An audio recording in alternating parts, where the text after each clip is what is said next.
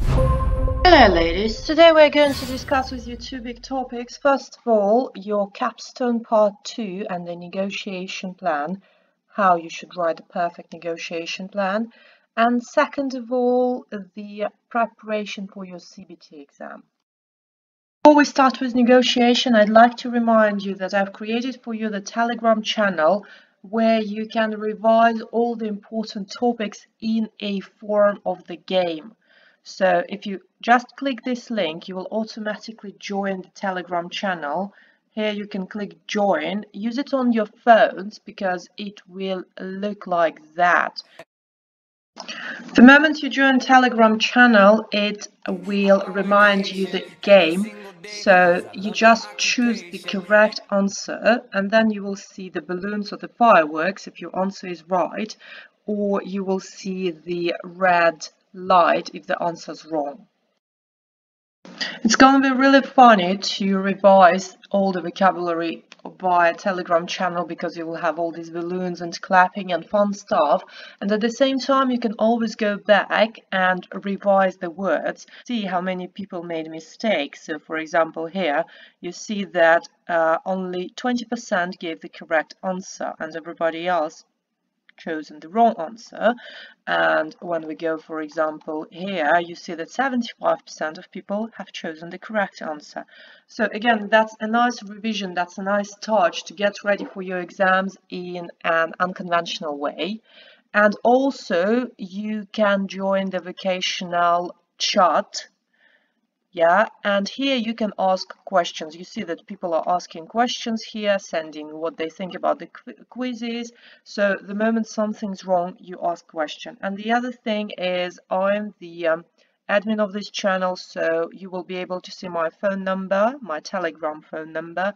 And if anything goes wrong you don't understand something that's a quick way to contact me. Let's discuss your capstone part 2.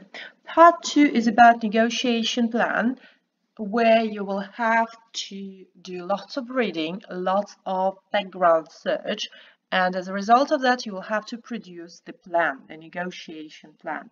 You have 150 minutes to complete this task and if you're not sure in any word, either the pronunciation or the spelling or the translation, you should use the dictionary like here.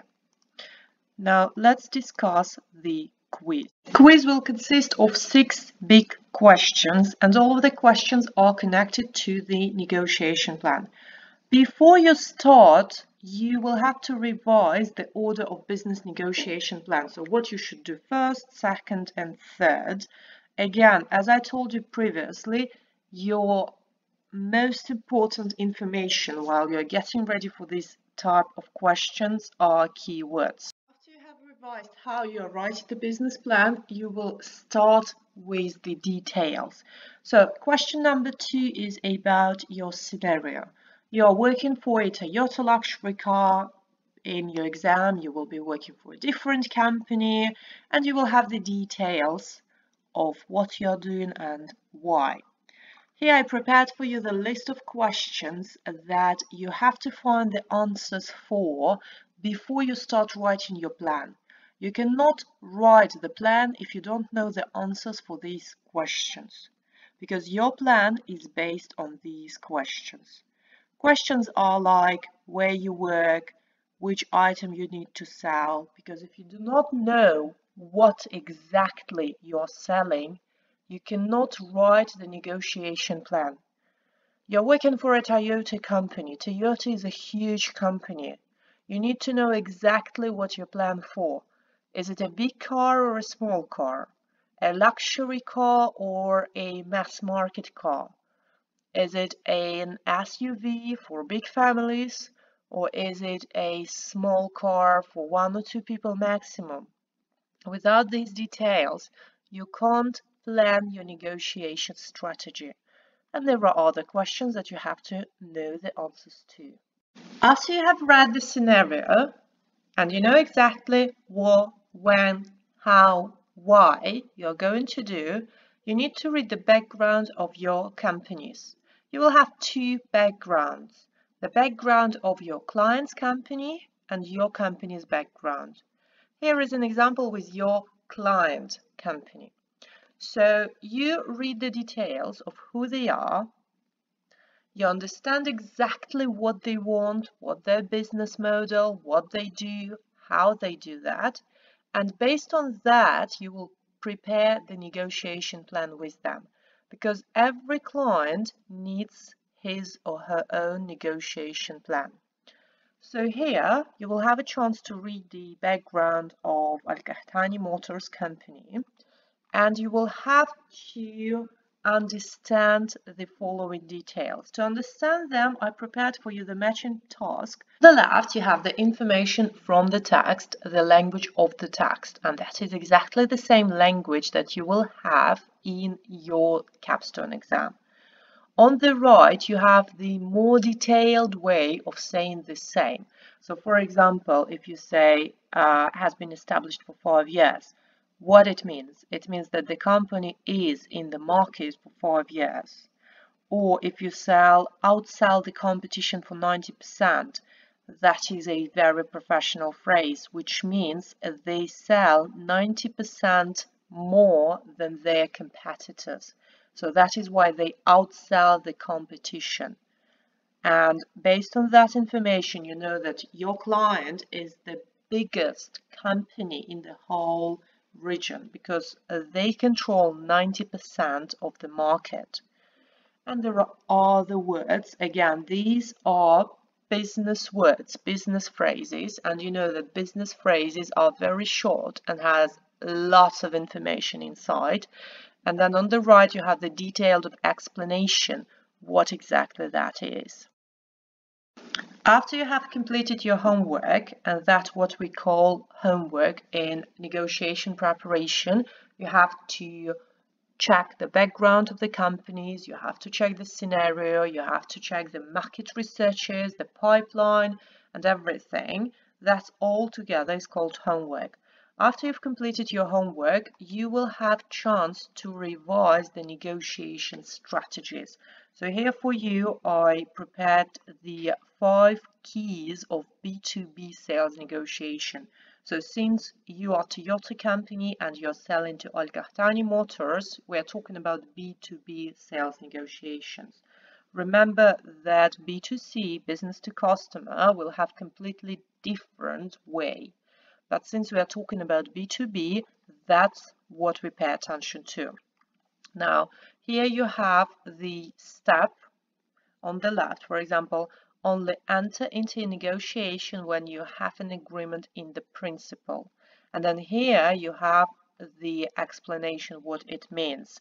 So you go through that, discount, no, conversation, no, you should agree first on the item. Yes, that's what it is. So you should agree first on the item that you're selling, its benefits for customers, and other non-money topics, non-monetary topics. Price and discounts are not principal. You cannot start your negotiation from price. First of all, you have to agree on the product. For example, you're selling luxury car. Toyota has a line of luxury cars. You need to decide what exactly you need. You need a premium car for uh, executive or you need a premium Land Cruiser car that is able to travel through the desert or you need to sell the uh, everyday mass market car. If it's mass market car, what kind of market segment you're talking about. So you cannot start your negotiation without agreeing on the principle what exactly you're selling. And then there are other pieces of advice that will be helpful when you prepare the negotiation. Whenever you are going into a negotiation, you need to understand what kind of negotiation you're waiting for. You're talking about one-time negotiation, when you're just going there, discussing some stuff, and 95% you will never come back. Or you're starting a repeated negotiation. So you start it's the first meeting, it's a kickoff meeting, and then you will face long process. By the way, that's a typo here, sorry for that. And you also need to understand what exactly your client is. Is it B2B negotiation? So it means your client is a big company. Or is it B2C negotiation and your client is a customer? Because again, your negotiation plan will depend on these information. After you have completed the quiz and you still have some questions, you can easily Google negotiation plan template and just have a look at how different companies are getting ready for negotiation plan. That is a very good idea to see what's the most important in preparation. The first one here, you see that you have just two columns, ours and theirs, and then the details, goals, interest, known facts. Another type of negotiation template, the detailed one, really detailed one, for example, preparation, objectives, yeah, worst, worst case, best case, introduction, the names, the agenda, opening and establishing position, clarifying position. Another type of template here, easy, hard, something else. Yeah, so my advice to you after you've completed the quiz, just go to Google and go through, surf through different types of templates because again that's the best way for you to understand what's important and what's not. If you have any questions you know my email you know my skype you also know my telegram now and you have the telegram channel where you can ask questions. So like five different options to ask questions Address questions that you don't understand. You know, there are no bad questions. Ask everything that's not clear. Wish you good luck with your capstone part 2 and have a great week.